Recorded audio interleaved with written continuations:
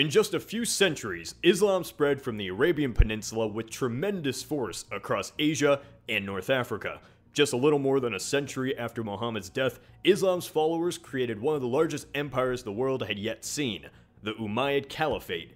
Its borders stretch from Afghanistan all the way to the Iberian Peninsula. Even though it seems impossible to imagine now, for almost 700 years, Muslims held some territory within the Iberian Peninsula.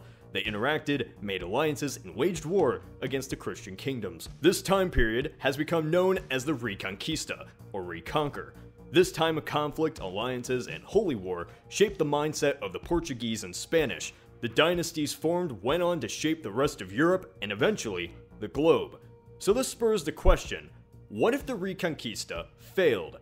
What if the Europeans could not drive out the Arabs and Berbers from Iberia? Before I talk about the scenario, we need some historical context. With the birth of Islam in the 7th century, the Caliphate, a theocratic state led by a caliph, spread across the Middle East and North Africa, conquering Egypt, Mesopotamia, Iran, and eventually the Iberian Peninsula within a very short amount of time.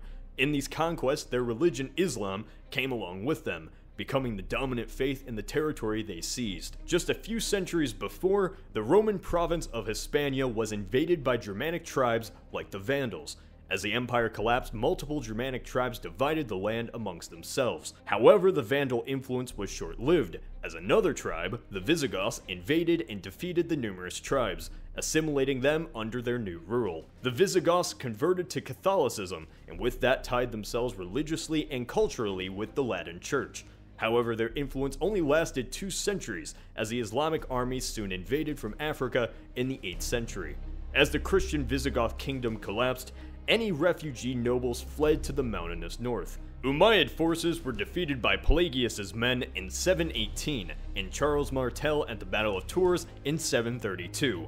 This destroyed any Islamic expansion into Western Europe.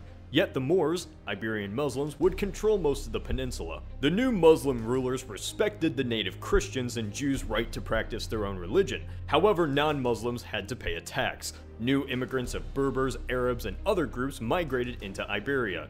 Yet the society still favored Arabs above all else. Non-Muslims and non-Arabs were second-class citizens. The Berbers, a North African people just recently Islamicized, had enough of this racist treatment. This discrimination created significant ethnic tension and violence between the two groups. It boiled over into a full-grown revolt against the Arabs just decades after taking Iberia. In the political turmoil, the remnant Christian nobles located in the kingdom of Asturias seized the opportunity and captured land from the distracted Arabs. Christian rulers had been pushed back to the northern coast. For the first few centuries, the war against the Moors wouldn't be united. If anything, it was simply reflective of the complicated politics of Middle Aged Europe. Christians, Muslims fought each other and their own. This was how it was for the first three centuries after the Muslim invasions. For Muslim Iberia, rule changed hands between Muslims just as with any European kingdom. First from the Umayyads, then an independent caliphate, then to the zealous Berber Almohads, to numerous small Muslim kingdoms. Competition with other Muslim power players like the Egyptians, Saudis, and Syrians certainly affected the Moors. Iberia, for 700 years, was a player in Islamic world politics.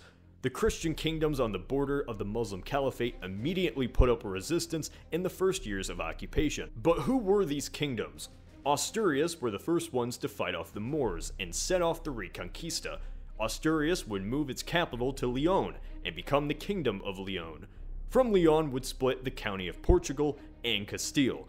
Conflict at first was not in the name of God, but for the kingdom, though religion did play a part at times. For much of the Reconquista, battles were simply skirmishes and raids by either Muslims or Christians. Fighting was not meant to conquer new territory, but simply for supplies or tribute. Almost comparable to tribes in a state of high alert. Military developed among Europeans to be ready for any incursion attacks by the Moors. With the rise of the Abbasids in the east, the Umayyads were left with just Iberia. The Caliphate of Cordoba lasted a few decades before collapsing and being split among smaller leaders. By this time, the reason for fighting transformed at the turn of the millennium, as the Reconquista became involved with the larger effort that was occurring throughout Europe the Crusades.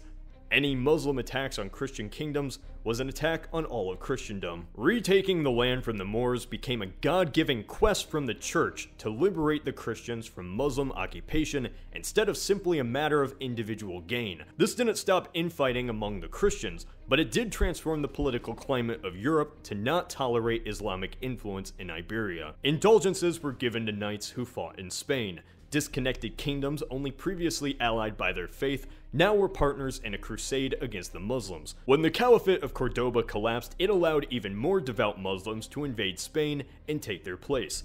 These were the Almoravids. The Almoravids were far less tolerant of Christians and Jews. Their successors, the Almohad Caliphate, were even less tolerant before collapsing in on themselves. As the Muslims lost land, the kingdoms in Iberia had transformed. Muslim influence in the peninsula was a shadow of its former self. Only the city of Granada had remained. In the 15th century, Castile and Aragon, now the most prominent kingdoms, united under a single dynasty in a marriage between Queen Isabel I of Castile and King Ferdinand II of Aragon, uniting the regions which would become Spain just a generation later. In their final push, Isabella and Ferdinand invaded and captured Granada, the city fell, and any form of Muslim rule in Iberia was destroyed in 1492. The Spanish were much less tolerant of their new Muslim and Jewish subjects. Non-Christians were ordered to either convert to Christianity, emigrate, or face death. There was no exception. For the next few centuries, Muslim rebellions, Spanish inquisitions, and ethnic conflict would occur. Eventually, all Muslims were driven out of Iberia, and the land is dominantly Catholic today. So now, onto the alternate timeline. What if the Reconquista had failed and the Christian kingdoms were unable to push the Muslims out of Iberia? Here is one alternate scenario. In this alternate timeline, let's simply say that no matter what, the Europeans are unable to push back the Moors. This is pretty unrealistic, as Muslim influence was shrinking just a century after conquest, but just for the sake of the scenario, let's say that somehow the Christians just do not push them out just to see how drastic the Reconquista changed history. In this alternate timeline, Iberia would change hands between Muslim forces. It isn't important who controls it, as that opens up a whole new video about inter-Islamic politics, so let's keep this general. By removing the events of the Reconquista, you remove 700 years of Spanish and Portuguese history.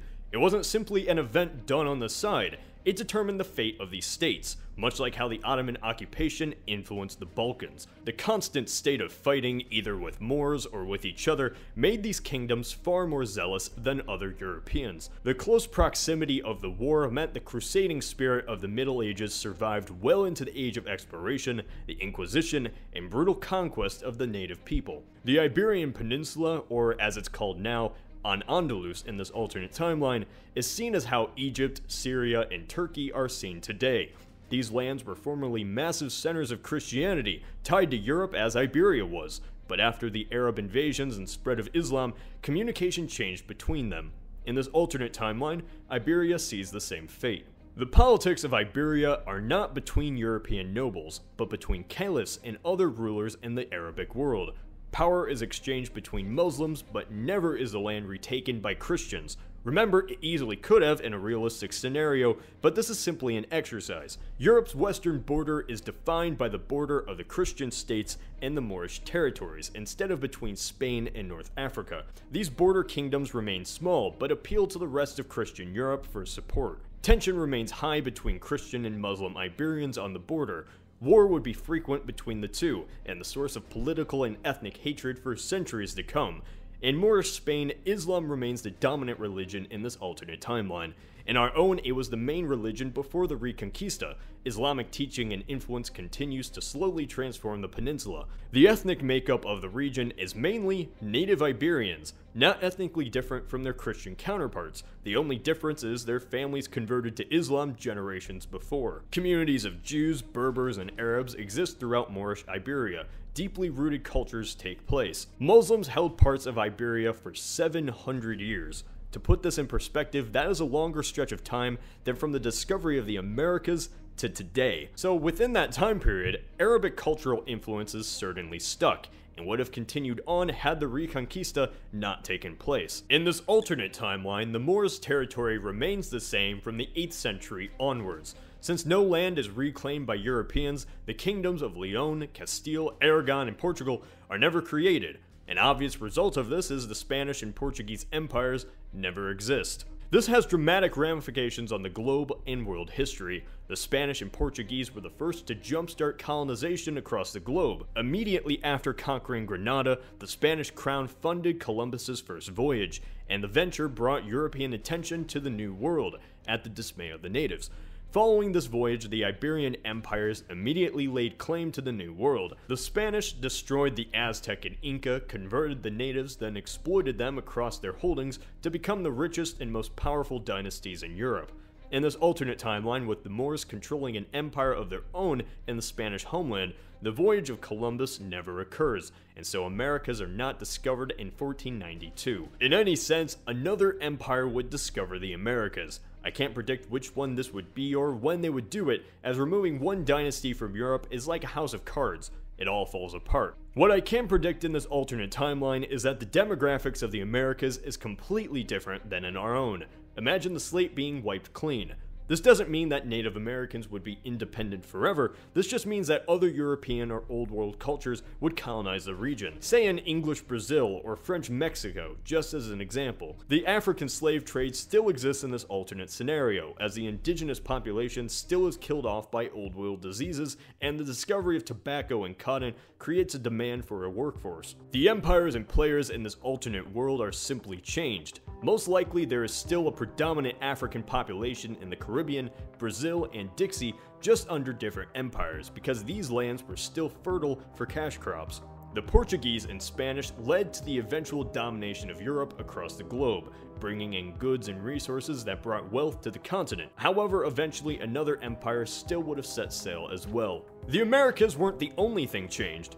European monarchies were fundamental to developing the modern nation states of the continent, or at least uniting feudal lands in a sense of identity. The marriage of specific rulers throughout thousands of years directly led to our timeline. Royal ascendance to the throne by marriage or birthright has come to create the decision makers of a kingdom, the king or queen who decides to wage war upon another monarch, or say piss off the pope. In this alternate timeline, Isabella and Ferdinand are not born and do not unite their kingdoms. Without this marriage, Charles V is never born and does not unify the Iberian kingdoms with the Holy Roman Empire and the Italian states. There is never a unified Spanish or Portuguese nation, as the remnant kingdoms remain small in the northern mountains. The discovery of the Americas transformed Europe and gave it the economic and military power to soon colonize the globe. Removing Columbus and Iberian colonial efforts drastically changes the timeline. The Holy Roman Empire, the Reformation, British and Spanish rivalry, colonial endeavors, all were deeply affected by the Reconquista. Of course, this is just one of the numerous possible scenarios that could have occurred. It's fun to theorize. This video idea was suggested by Patreon contributor Austin. Thanks for your contribution, Austin. You could say I truly didn't expect it. Ah.